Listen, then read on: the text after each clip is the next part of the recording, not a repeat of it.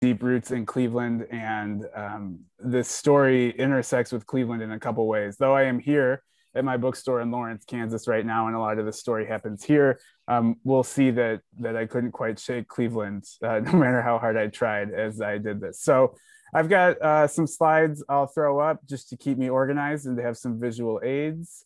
Um, this is a little bit about um, I'm going to talk about how to resist Amazon and why that's important. Um, and I can't not talk about that when I'm talking about this, but I'm also going to kind of share the story of how this came together because I think it's also a really interesting small business story. In a way, it's about a small business finding its voice uh, over really a 30 year history. Um, so, a little bit of background on how we got here, and then we'll get to the Amazon stuff. Um, this is the Raven Bookstore when it opened. It opened in September 1st, 1987.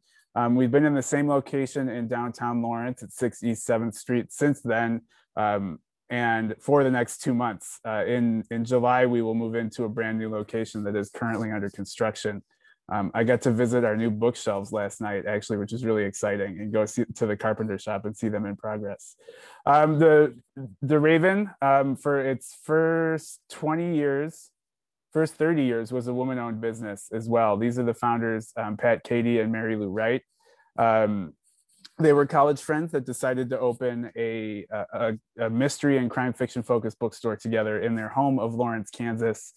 Um, they were told that bookselling was a hobby every time they went to the bank, so they could not find um, any financing and they had to kind of piece it together. Mary Lou took out a second mortgage on her home uh, they did crowdfunding before that was a thing and got a bunch of small donations from their friends and community and kind of scrapped it together. So since the beginning, the Raven has faced steep odds and found a scrappy way to, to figure it out. And I think that spirit lives on today and a lot of stuff we're going to talk about. Um, in 1997, directly across the street from us, the Borders Books and Music uh, Superstore opened. Um, we can still see the building right over here. Uh, it's empty now, um, but we're still literally in its shadow. Uh, so Pat and Mary Lou had to figure out how to deal with that, the much larger corporate competition across the street and the issues associated with it.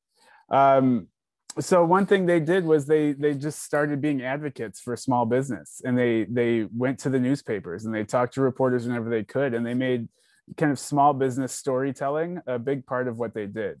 Uh, and they were very good at selling books. They were crime fiction experts. They held author events. They did all the things a bookstore does really well, but they also made it a point to tell their story and explain the importance of small businesses uh, to to their community. Um, the, the main way to do that um, was again through newspapers.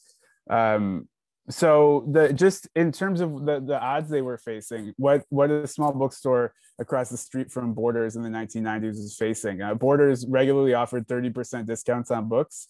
Um, the way pricing works for books is generally we have a 43 to 46% discount from uh, publishers and with that 46% of a book's price we have to pay rent our employees and everything else. Uh, so you subtract 30 from that uh, and you're, you're dealing with a razor thin margin that's really unsustainable um, Borders can deal with that a lot of ways that a small bookstore can't. Um, they've got they are huge. They have a huge corporate kind of infrastructure. Uh, they have an incredible volume of sales. They have an inventory with millions of books. Um, and also, it was discovered through advocacy from the American Booksellers Association in the 90s and later litigation um, that Bar- Borders and Barnes Noble were getting better terms from publishers. So while independent bookstores were getting that 46% discount, Borders and Barnes and Noble were getting up to 55, uh, permitting them to have those those huge discounts. Um, and the the ABA took Borders and Barnes Noble to court. That was settled, but for a long time we just had to deal with the fact that the giant store across the street was selling cheaper books than us. Uh, and then, of course, also at any point when there's when there's a big corporate uh, franchise like that in town, less of that money is staying in Lawrence, Kansas. You know, a lot of that money was going back to Ann Arbor, where Borders is headquartered. Um, so that wasn't a local business, and and the the percentage of money that was sticking around reflected that. Um, so they did it. Um, they hung on. Uh, they figured it out. They kind of doubled down on that storytelling and being really good at what they did. Uh, flash forward to 2008, I purchased the Raven, or no, in 2017 actually. Um, it sold in 2008 um, to Heidi Rock, who you see right next to me in that photo.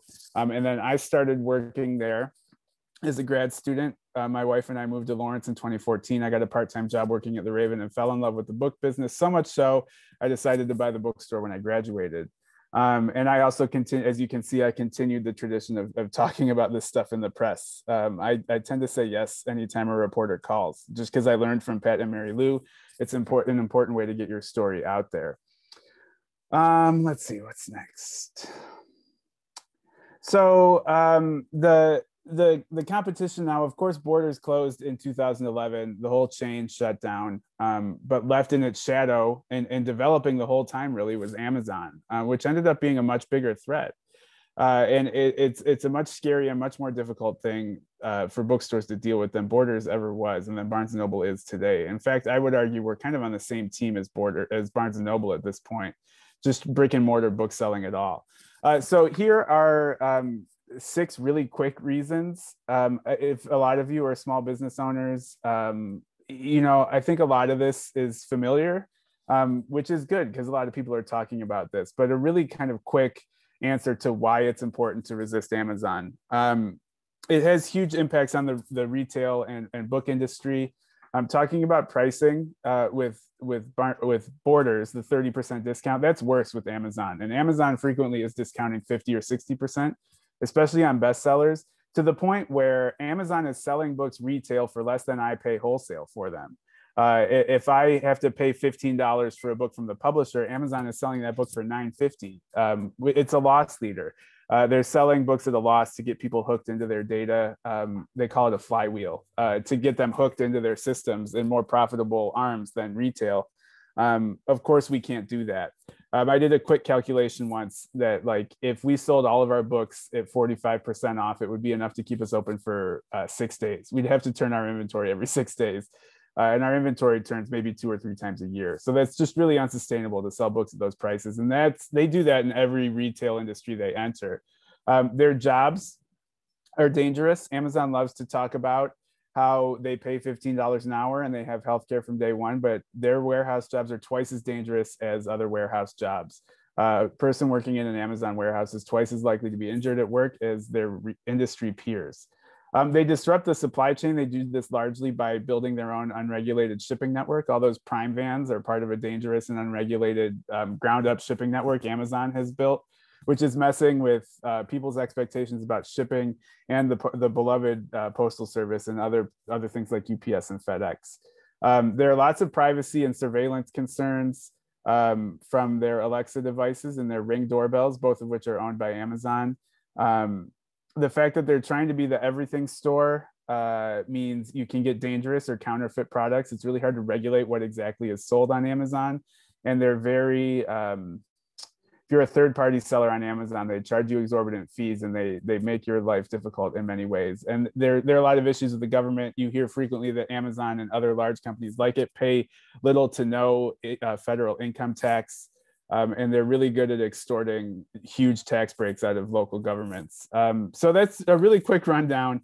Um, more on this later, but I just wanted to to show that my issue with Amazon is bigger than books um, it's really even bigger than small businesses. We're talking about privacy in the government. Um, so these are really, really large problems. And like the quick answer to why you need to resist Amazon is it's a lot more than just cheap books. Um, so this this kind of conversation, um, I learned a lot of this stuff from just talking to other booksellers as I entered the industry, which was interesting um, it was kind of uh, an introduction to these issues. The, the book industry is really good at having these discussions um, internally at conferences. Um, we we love to complain about Amazon. We love to strategize about how to um, how to deal with it, how to build a bookstore that can thrive, uh, even in the face of all this. Um, but I was I was noticing as I entered the book industry at the store owner level uh, that this conversation wasn't happening between me and my customers that much. It was happening between me and other booksellers, um, which was interesting to me. And it, it, felt kind of stuck. That felt like a closed circle. Um, I felt like if we were going to really need to make any momentum on this, it needed to be a really big conversation, and people people needed to talk about this a- across the board. Uh, and booksellers needed to figure out a way uh, to to bring the, these issues out of the bookseller conferences and directly to their communities. So one way we uh, decided to do that is the Raven was via social media. Um, and we had always kind of talked about uh, this stuff uh, on social media. It was it wasn't a focus, but it was definitely there. And we were also willing to have these conversations in store. Like we were ready to have the conversation of like, oh my gosh, this book is twenty six ninety five. I found it online for fifteen. You kind of need a quick answer for that, and and all of the booksellers here have developed that. But then uh, in April 2019, um, happy two year anniversary to all this, I guess. Uh, I just did a quick Twitter thread about that very discussion about a customer who decided not to buy a book from us. Um, and you see in the second tweet there, there's that bit of math um, about how long we'd last selling it at these prices. Um, and, and for whatever reason, this tweet thread took off. Um, you can see the numbers. Uh, we've got 24,000 retweets and 50,000 likes on that first tweet. Um, this really sparked a discussion um, on, on Twitter and, and reached far more people than our um, anything we've ever done ever did. It, just exploded. Our audience exploded. We got orders from across the country, and all of a sudden, we found ourselves kind of in the middle of this discussion. Uh, Mary Schmich, who's a Pulitzer Prize winning columnist for the Chicago Tribune, wrote a, a column about us um, and, and about the tweet thread and about the issues in the thread. Um, and it was this point I kind of realized I have an audience. Um, I have people listening to me. Um, I need to be careful to um, take advantage of this, not for sales, but to get the message out. Uh, and, and if people are listening to me, I need to be responsible and do what I can to create positive change. Uh, so that motivated me um, to write a letter to Jeff.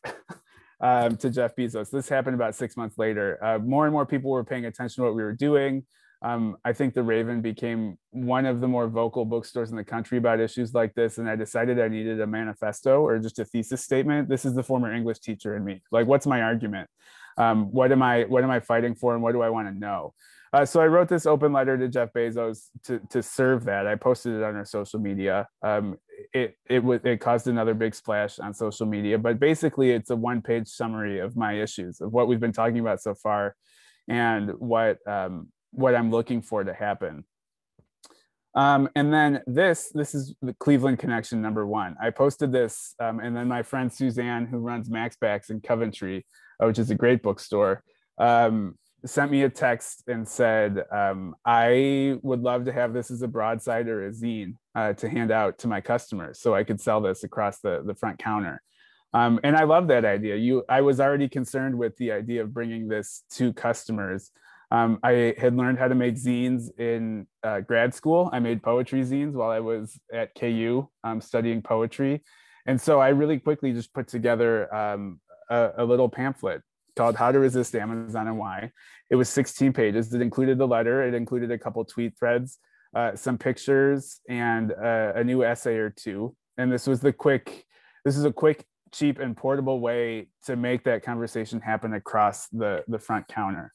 Um, I expected to sell, uh, I don't know, like 50 of these at the Raven. And all of a sudden, I got um, emails from bookstores all across the country looking to sell them um, around the world, in fact. And I, I became really overwhelmed uh, trying to keep up. I spent all my afternoons at Kinko's and all my nights um, with this fancy stapler putting together hundreds and hundreds and hundreds of zines.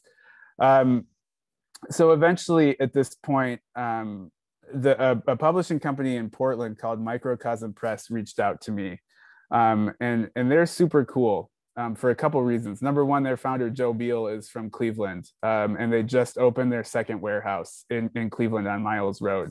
Um, so uh, I I love that they were had a Cleveland connection. Um, they're also a, a, great fit for this project uh, because they're one of few publishers. They might be the only publisher of their size in the United States that refuses to do business with Amazon. So they don't have an Amazon account. They don't send their books directly to Amazon. Um, you ask any other publisher, um, Amazon accounts for half of all book sales in the United States and 75% of online sales. And so every publisher except Microcosm is like, we can't give up that many sales. Like we, we may dislike them, what they're doing to the book industry or what they stand for, but we, we literally can't do without half of our sales. Uh, but microcosm um, in a spirit, in a kind of punk DIY spirit, said, "What if let's try it? Um, we're gonna do our, we're gonna build a warehouse. We're gonna do our own distribution. We're gonna try to make it without Amazon." Uh, and their sales have actually gone up, and it's become a really vocal and central part of what they do. Um, in, in one part by publishing a version of my zine. Um, so they reached out and said, um, "We'd love to help. We'd love to distribute this and make our own version of it." And I was like, "Oh my god, thank you! I need help. I'm so tired of spending my nights stapling zines." So that came out in October 2019, um, and and just was, um, you know, it, I'm I'm still stunned at how much it's taken off. Um, Microcosm has sold 30,000 copies of their version of the zine um, all around the world. Um, I love seeing pictures like this on social media uh, from other bookstores and other customers.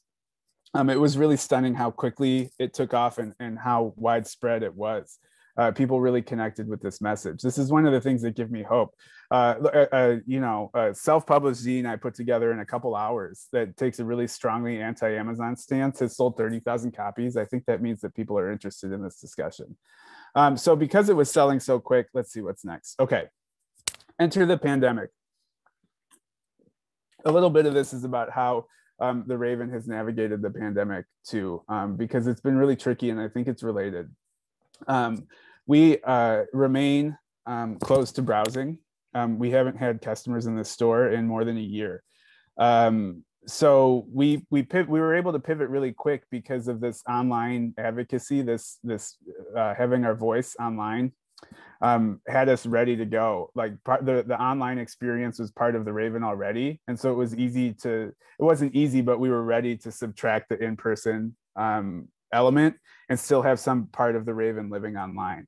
Uh, so if you're on twitter you know give us a follow. We'd love to connect um, but we um, we implemented free delivery really quickly. We closed browsing really quickly, um, and we were kind of ready to go with with online e-commerce. Um, and uh, we ended up in the New York Times talking about it. This we're going to operate like a pizza takeout place is a quote from me. Um, and we're this was last March, and we're still operating like that, and probably will until our new location is ready. Um, but again, this finding our voice online kind of made this possible. Um, and, and the reaction has been great. Um, people have been really thankful. We've just made it a point to say we're trying to take care of our employees, keep our customers and our staff safe. Um, and, and the comments have been immensely supportive. Um, so uh, yeah, that's where we are right now. We, we just opened a walk-up window. So we've got um, last week we we had a second door that hadn't been open in like 20 years but we convert we had a locksmith come out and we converted it into kind of a walk-up window. So it would be a drive-through but it's on a pedestrian street so people can walk up and talk to a bookseller and place orders and get recommendations there. That's the kind of first reintroduction of in-person bookselling we've had uh, since march. Uh, but ultimately in 2020 our sales were up 25 percent um, and, and that's um, we're really lucky we have a hugely supportive community i'm a little stunned that that happened um, american booksellers association lost 75 bookstores last year so more than one bookstore per week was closing during the pandemic bookstore sales overall were down um, which is sobering in a couple ways. I, I, don't love the bookstores were actually entering a moment where they were doing fine, and we were we were having a little bit of a renaissance with bookstores until the pandemic hit. Um, and I'm a little worried about what's going to happen because um, even though bookstore sales were down, the, the book industry was up. Um, and so, what does that tell you? That tells you that people are going to Amazon for books. Um, if bookstore sales are down and the, the overall print books are, are healthy, um, it means we're still losing customers uh, to Amazon. And, and the Raven is an outlier in this. Um, but I think more importantly, there is growing antitrust momentum in Congress. Um, it's a bipartisan issue. Neither the Republicans or the Democrats particularly love uh, how big big tech companies have gotten. Um, and I think the public discussion of, of the issues and problems surrounding Amazon is, is growing. Um, and I'm, I am hopeful. Uh, I was, you know, it's, I don't think the, um, I'm going to take a drink really quick. The um, warehouse workers in Bessemer, Alabama, last week turned down a union vote, um, which in some ways is a little bit of a setback, but I think the the publicity surrounding that story um, was an important spotlight on, on labor rights. And, and we're still making progress on this discussion. Um, one way I'm taking part in that discussion is we have turned the book, the zine, into a book called How to Resist Amazon and Why. This came out uh, last month. And just today, actually, the audiobook uh, version, which I read, uh, is, is available. Um, the, the folks at Libro FM have helped me with that. If you're not familiar with Libro FM, it, the website is libro.fm. That is an indie bookstore friendly audiobook source um, to compete with Audible, which is, of course, owned by Amazon. Um, so uh, the, the book is an expanded version of what I talked about in the zine. I focus a lot more on government and those antitrust issues, which we can talk about in the Q&A if you'd like to. Um, but Microcosm Press published the book. The zine was uh, 16 pages. The book is 120. Um, so it's it's expanded, it's researched, it has further reading suggestions in it, and I got to spend a year kind of really diving into this issue. Um, and I think it came out at the perfect time. I think people are really talking about this, and I think we're getting some momentum, and I think people are realizing the dangers of this company. Um, so yeah, I mean, like as as we mentioned, I was on Australian TV uh, last week. This is from this is a show called The Drum on ABC, which is Australian's um, uh, public TV station. I was also in the New Yorker. The great writer Casey Cep wrote a profile of the store and our advocacy. Um, so again, um, not to toot my own horn, I just think that it's um, people are paying attention and people are really interested. And th- these are discussions we've had in the book industry for years. And and I think the the only innovation we've had is is making sure our communities and our customers were involved in this conversation. Um, and there's overwhelming evidence that that people are interested um, and, and, aware and excited to do what they can uh, to, to curb the influence of this large and dangerous company and big tech monopolies in general. Um, I don't know how we're doing. I would love to um, talk. I would love to make this as interactive as I can. So that those are my slides. Um, I don't know if there are questions in the chat. Um, okay, I see Laura said, please repeat the competition of Audible. Um, that's Libro.fm. I typed it in the chat. Uh, it works the same way. Um, I think a, a subscription is $14.99 a month, but there are different plans. Um, but you have an app on your phone and you can just download your audiobooks. It works the same way. Uh, much of the same selection is on Libro, and a portion of each sale goes to a bookstore.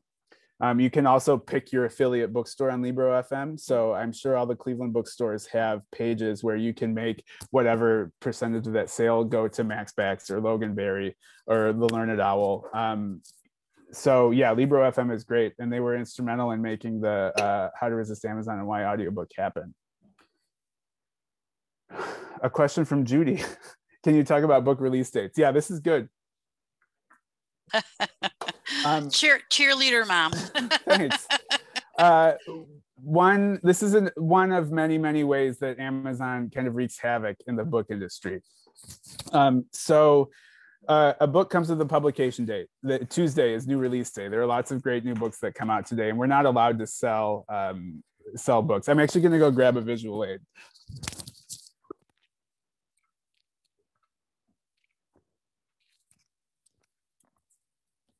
Okay, here I am. I get the benefits of being at work while I do this. Uh, this book is um, Empire of Pain by Patrick Radden Keefe, the, Se- the Secret History of the Sackler Dynasty. This is an amazing brand new book. Patrick Radden Keefe is a staff writer for the New Yorker. Um, that the book is an inside history of the Sackler family, who are the owners of Purdue Pharma and really the kind of people who caused the opioid crisis. Um, they're a hugely secretive family um, he did amazing work uh, getting to them without their co- cooperation at all. Um, he's told the complete story of this family and their impact on the pharmaceutical industry and countless lives. The book is so sensational that it was embargoed, which means we got these books in the mail uh, from UPS last Friday we literally had to keep them under lock and key until today. I wasn't allowed to talk about them. I wasn't allowed to show people I had them. They were they, they I had to sign a piece of paper that said, uh, in order to sell this book and get it on time, you have to keep it under lock and key until the release date on Tuesday. Um, I imagine there are lots of legal reasons in this case. Um, it's also to build excitement about the book um, and and to make it have a big splashy. Uh, if everything about the book comes out at once, and he's on the Today Show, and the New York Times runs a review, you want a lot of publicity in the first week, and so we need to keep it under wraps so nothing is spoiled. Um, and I'm like, sure, this book is going to be great. Uh, I signed the paper. I agreed. Um, I'm, I'm talking to you about it now. I couldn't have this conversation with you about it yesterday because I wasn't supposed to tell you. And this is really standard procedure, um, especially for really big titles. Um, and there have been a couple instances where Amazon has mailed out this kind of book early. Um, they did it with Margaret Atwood's latest book, um, which was the sequel to The Handmaid's Tale. Um, and, and, people get it in the mail a week or 10 days before the publication date. And it's, I know Amazon had to sign the paper.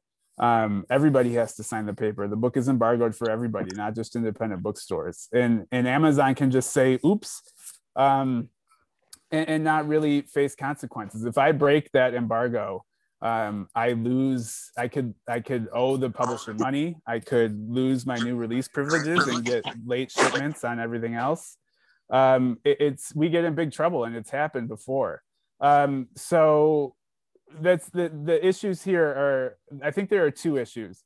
One, from our standpoint, it makes it seem like we can't do it makes it seem like amazon can do something that we can't it's like well why am i going to order from this bookstore if not only is it going to be more expensive Amazon's gonna get it to me sooner. Um, and, and that's unfair competition. Um, in fact, it, it, it breaks, um, it definitely breaks publisher policy, um, you know, and like unfair predatory competitive uh, practices are, are illegal as well. Um, and then also like the publishers are kind of scared to challenge Amazon on this because Amazon has been known to play re- hardball really intensely with publishers once if they're in a dispute. And again, Amazon Amazon has such a monopolizing share of the book market that the publishers are scared to do anything. Um, so they can really get away with it. Uh, in I think it was in 2011, Amazon had a, a really big spat with uh, Hachette, which is one of the big five publishers, about um, ebook pricing, and the they canceled all Hachette pre-orders any book, any Hachette book that was available for pre-order, they took the buy button away and they bumped a lot of Hachette titles to the second page of search results. And like once it's there, that's no man's land. Uh, so um, out of fear that they would do that again, these publishers aren't going to really push back on these publication date um, violations. So it's just one more way that Amazon can get away with something that we can't. And like we're trying to play by the rules. And we're, we're also a note on this pricing thing um, the perception that indie bookstores are selling books for more money, like we're we're charging the actual price of the book. Um, the the price is printed right here. Uh, this is a 3250 book. Um, it's printed right there on the lab on the the dust jacket. Um, so we're not the ones adjusting the price of books. Amazon is. They're adjusting them downward, and that's that's causing kind of havoc and in the book in my book i argue that that's devaluing the idea of the book in general to to do that kind of large scale experiment and deflating prices that's going to make books less valuable. Um, and I'm, I'm not arguing that only rich people should access books. I'm just arguing that the people that create and sell books should be fairly compensated for their work. Good question. Did jeff bezos respond to your letter? No not yet. Still waiting uh, in the in the in the letter, I, I, I, invite him to Lawrence, Kansas, to show him around a, a, a, town that's got a bunch of great small businesses at the heart of its community, and I mean that. Um, I would love to walk him around uh, and show him. Um, the I invite him for a slice of pie at Ladybird Diner, which I couldn't do today because Ladybird Diner um, has for the last year shut down as a restaurant and acted as a food pantry, giving away 200 free lunches every day uh, to people in need in the community. Uh, and that's just another great example of the way a small business can really uh, um, build and nurture its community. Um, okay, Francis in the chat. Another thing that concerns me with Amazon is book censorship. Can that be a problem with them or is it with the publishers? Yeah, I mean, this is, we talk about this a lot. Uh, this is, I, this falls under the everything store problem. And Amazon was founded as something they, their guiding principle at the beginning was the everything store. Like we'll sell everything. We'll be the source for everything. And they're, they're realizing that that's a, a kind of a fraught position to take these days. And they're um, they've eliminated Nazi material. They've eliminated um, anti-vax, uh, you know, kind of pseudoscience about the pandemic. Um, and that's a tricky thing for them in my bookstore, I, I carry about 13,000 titles, um, which sounds like a lot, but it's not. There are millions and millions of books in print. So I make a thousand decisions every day about what to carry and what not to carry. And that's a normal part of book selling is, is curating. That's part of what we do is we, we build a collection of books that we think is of interest and value to our community. But when you promise to be an everything store and when you have a monopolizing share of the book market, when you decide not to sell something, I think you are kind of approaching something like censorship. Um, and, and the idea of a book getting canceled is uh, is in some ways a misnomer, except in Amazon's case, because when a company has 75% of book sales and half of all book sales in general, um, you really are limiting access to that book if you decide not to sell it. So I think there is a danger of a company being too big, having free speech implications. Um, and I, I, think that's a great point, Francis. And I think it is a concern. Um, so uh, yeah, it's just a matter of Amazon being too big. And like if a small bookstore decides not to carry a book, there's always somewhere else to get it. Um, but it, it gets tricky when you have a monopoly on book sales. I wonder if writers and authors would band together regarding this issue. That is, I mean, it comes down to that monopolizing share. This is why monopolies are so dangerous. Like it's, I think some authors, not me by any means, but some authors might be worried about tanking their sales if they if they tell people not to buy them on Amazon. Um, and it's just another piece of evidence that their share of the market is too big. Um, there are, I mean, there are authors who are great about it. Um, there are authors who are very good friends of independent bookstores. I think every bookstore kind of has a roster of, of authors who are on their team, frequently local, um, and, and we really value them. Um, one way we partner with authors is to do signed pre-order campaigns. Um, so if an author who's friends with us or is local has a new book coming out, we'll sell signed copies and pre-order, and that's a great way to support that bookstore and that author, um, and to get and to get a little perk to get a signed first edition too. Um, so that's one great way to support author, not only independent bookstores, but authors who are on the same team as independent bookstores. Is to if you see a signed pre-order for a book, um, you know, go for it. Uh, one way this this happens a lot, I think, is with links um, and and talking about authors and where they they link their books. Um, I know, for example, um, Glennon Doyle, who wrote Untamed, um, is a really big champion of indie bookstores. Um, so she's offered exclusive signed copies to indie bookstores for the past year or so. I mean, they come with this really pretty kind of cheetah print with her signature. Um, and she's always talking she's to the point where she's this year's independent bookstore day ambassador and she's doing a special event um, later this month. Independent bookstore day is april 24th um, so there are a lot of authors like that who who are who are um, big champions for indie bookstores. But you know then again i think there is some pressure from publishers uh, to not ignore that segment just because it's so big. Oh dan rather right yeah. Um, dan rather is a huge advocate for independent bookstores um, as well he retweeted our New Yorker article, which is kind of a thrill. Not a sentence I ever thought I would utter is that Dan Rather retweeted us. One of my booksellers is laughing in the background. Um, any questions? Any other questions or thoughts?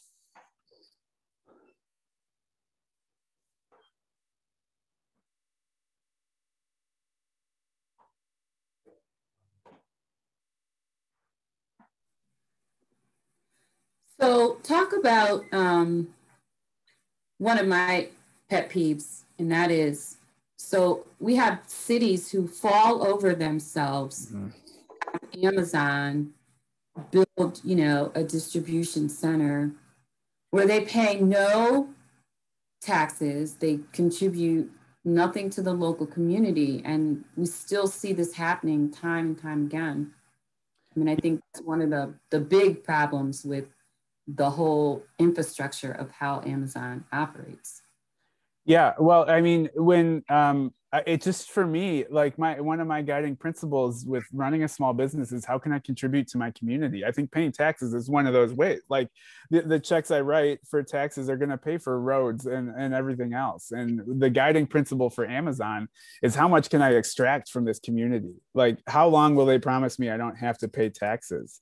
And this is from the, the most profitable country the most profitable company in the world and the world's richest man. Um, and the um, they they really there's a huge pipeline of tax benefits and tax breaks that are used to to lure big companies. And, and amazon is one of the champions of that sport. Um, and every time you see a press release celebrating uh, a new amazon fulfillment center opening and bringing a thousand jobs it's like well uh, you know there's going to be very little tax revenue from that warehouse for a long time because they were probably promised a giant tax break for 20 years and those jobs are are dangerous um, and grueling and, and lead to quick burnout and have very high turnover and little opportunity for advancement.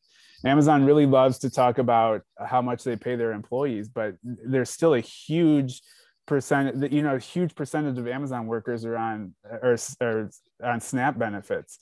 So like how much are you really paying your workers if they still have to um, they still need federal assistance to eat?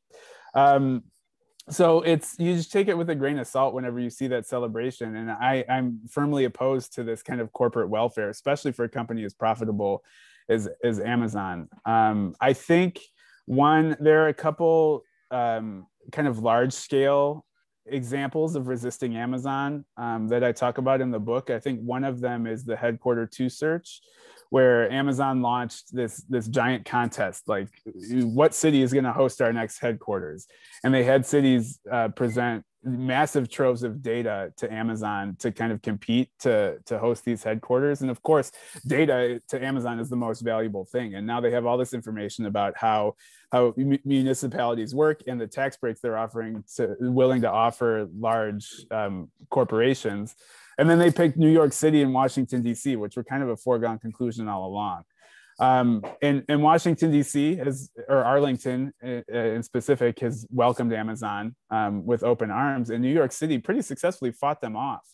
Uh, and th- there was large scale protests from the city government, from, from people, and from federal legislators like Alexandria Ocasio Cortez um, that raised enough of a stink that Amazon withdrew their plans uh, to to build this headquarters. And then a couple months later, they leased office space like a regular company um, at regular rates uh, and regular taxes. So um, they still had a presence in New York City, but they went about it like a regular company without huge government handouts. Uh, so yeah i mean it's it's a dangerous thing and it's i don't think it's the way to make communities prosper um, is to deflate the, the revenue base like that. Um, I understand creating a business friendly environment, um, but uh, I, I, don't think that's the way to do it. I think that's very well spoken, Danny, with the corporate um, handouts like that. And I think it's shameful that Bezos does that when he's uh, billions of dollars and then these towns get nothing. I'm yeah. all for, I'm all for business too, but not not in that way. Right. Well, and meanwhile, the, the companies that don't have huge profits or trying to make it or trying to start out have to pay normal taxes. And, you know, um, yeah. Thank you for saying that. Um, I see in the chat, Barbara says, as a book lover, I really enjoyed your presentation. We have small bookstores where I live in Lakewood. I used to live in Lakewood before I moved to Lawrence. I love Lakewood. Um, I will provide your information to them. Thank you. That's great. Um, cool other questions or thoughts? So, how can we help you get the word out? What are things that we can do to, because uh, when women, our community, we're all about action, honey. okay, good. I what love that. um, I, you know, it's, um, th- in many ways, this is a government problem with a government solution. Um, I think the question of Amazon's size is really why has Amazon been allowed to get this big and out of control? And that's because that's that's a question of government and how they interpret antitrust laws.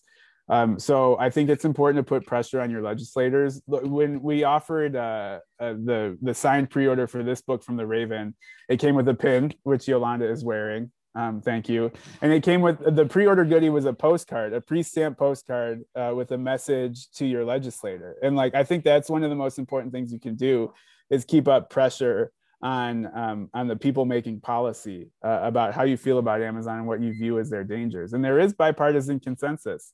Um, we were talking about canceling books. It was in kind of a funny twist of fate. Um, the the Josh Hawley book that that was withdrawn uh, after that whole thing was a book criticizing big tech monopolies. And so, like, this is something that Bernie Sanders and Josh Hawley are kind of on the same page on, which that that alone gives me massive hope.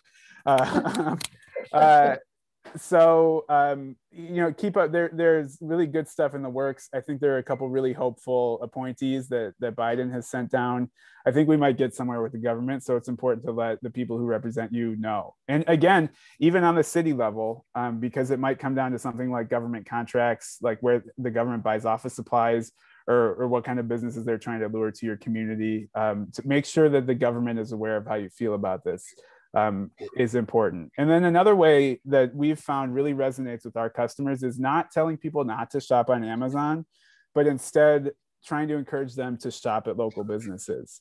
Because, uh, like, one customer canceling their Prime account um, and, and stopping their Amazon habit isn't going to make that much of a difference to Amazon because they're so big. I'm not sure Amazon would technically feel it, but the small business that gets that business instead definitely will feel it. Um, and if you buy one book a month on Amazon and stop, Amazon's not going to feel it, but we'll de- the Raven will definitely notice that new customer who's regularly supporting us, or, um, or people who are buying wine from Yolanda instead of from Costco or Trader Joe's.